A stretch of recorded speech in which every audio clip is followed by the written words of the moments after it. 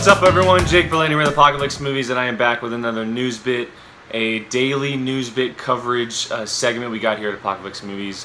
We like to cover trailers, news, casting, all kinds of news that comes out for the movie world.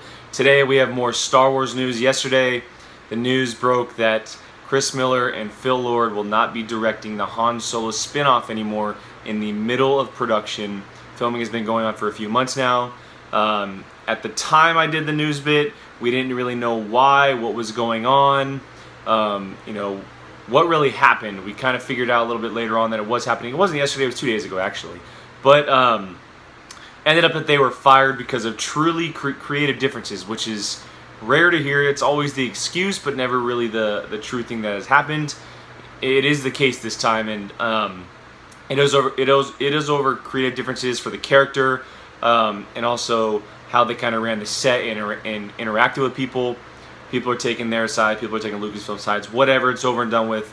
Um, when it had happened, rumor names for Take the Director's Chair popped up, including Lawrence Kasdan, who wrote the film and has been in Star Wars lore for a very, very long time. Uh, Joe Johnston, um, who's been a, a, big director for a very long time, and Ron Howard, who may be the most known name out of those. And the news broke this morning thanks to StarWars.com. Ron Howard will be taking over the director's chair for the untitled Han Solo spinoff.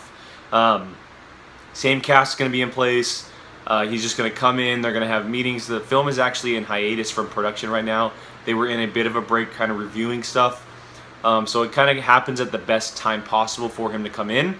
Ron Howard, if you don't know who he is, um, Apollo 13, uh, you know, A Beautiful Mind, Cinderella Man, Willow, maybe one of the most classic. Uh, recently, he did the Da Vinci Code movies with Tom Hanks. He also did Rush with Chris uh, Hemsworth, which is one of my favorite movies of the last decade. The movie is absolutely phenomenal. And then most recently, um, In the Heart of the Sea, and, and of course, Inferno uh, with Tom Hanks. But kind of a, a mixed choice to a lot of people. I personally don't mind his directing. Yes, he doesn't have uh, such a couple that movies that are just you know are so-so or maybe you know not as good as they could have been. A couple movies that are just nowhere near what they should have been. Um, but he's a very very capable director. He's a veteran. He's going to come in and do what they ask. He's not going to cause any kind of drama. Um, he's been in the business a very very long time, and so it's a very smart smart move for Lucasfilm to grab someone as as uh, as uh, Ron Howard.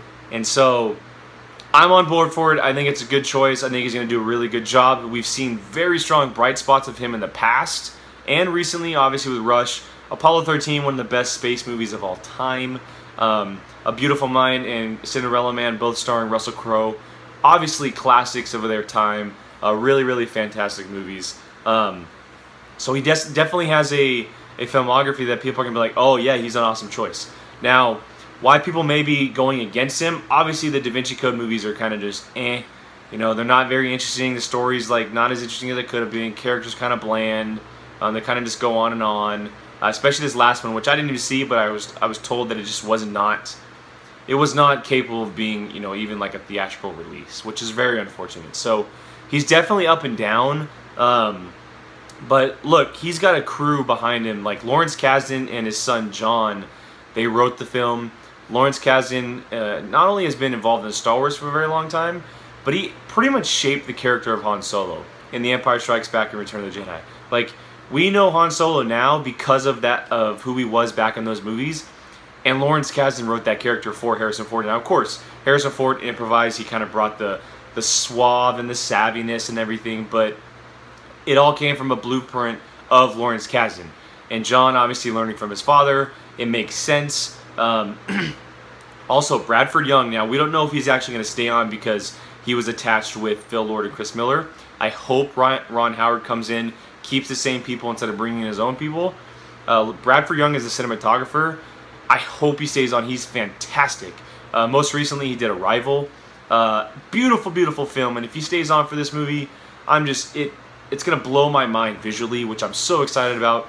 And if we end up seeing some kind of ship race or, you know, space battling going on with the Millennium Falcon or some kind of ship that Woody Harrelson and Alden Ehrenreich's characters are, are flying, Bradford Young is going to bring a specific style to this movie that is going to be visually stunning.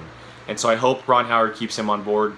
I have a feeling that's going to happen. I feel like Lucasfilm is just going to be like, hey, we're keeping everyone. We're going to keep it how it's been. Just make as minor the minor adjustments as we need and move forward. So, but as far as Ron Howard goes, I'm all on board. I think it's a great choice, especially out of the rumored ones. Joe Johnston would have been a fantastic choice as well, and I would not have argued against Lawrence Kasdan because he's been on set, he wrote the film, he knows Star Wars. But I think Ron Howard is a great choice because he's a veteran. He's going to come in and do what he needs to do. Um, there's not going to be any kind of issues. We'll see if they add production time onto the scheduled time, obviously with this little little bit of hitch in the schedule. But um, they, two days later, they grabbed a director and they're moving forward. So it looks like Han Solo is actually going to be set and ready to go for its May 25th, 2018 release date. We will see. I hope that's the case. I don't want to wait, you know, another six months or whatever it is, especially since it is going back to the month of Star Wars in May, where it originally released. Um, so yeah, let me know what you think in the comment section. Do you like Ron Howard? Do you like his movies? Do you think they could have gone with someone different? Out of the rumor names, is he the best choice, or could they could have gone with Joe Johnston or Lawrence Kasdan? I mean, what do you think? Let me know. Let's have a conversation. Head down to the comments. I am Jake Berlin. You can find me on Twitter and Instagram at Qui-Gon Jake. That's right, Qui-Gon Jake. Um, check out apocaflixmovies.com every day. Got all kinds of cool articles going up. Gio, Brian, and myself uh, always writing down on the page. Um, check out our YouTube channel as well. Um, daily news bits, trailer reactions, movie reviews, Padawan podcast, which we will definitely be topic talking about this subject this weekend. That should be up on Monday.